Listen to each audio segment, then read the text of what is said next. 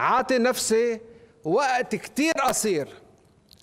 إما شركائنا بالتسوية وبالحكومة بيعطوا جواب واضح وحاسم ونهائي بيقنعني أنا وبيقنع اللبنانيين والمجتمع الدولي والكل يلي عم بيعبروا عن الغضب بالشارع اليوم. إنه في قرار من الجميع للإصلاح ووقف الهدر والفساد أو بيكون إلي كلام آخر.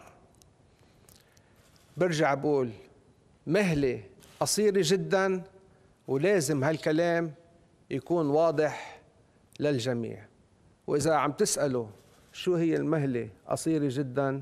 72 ساعة.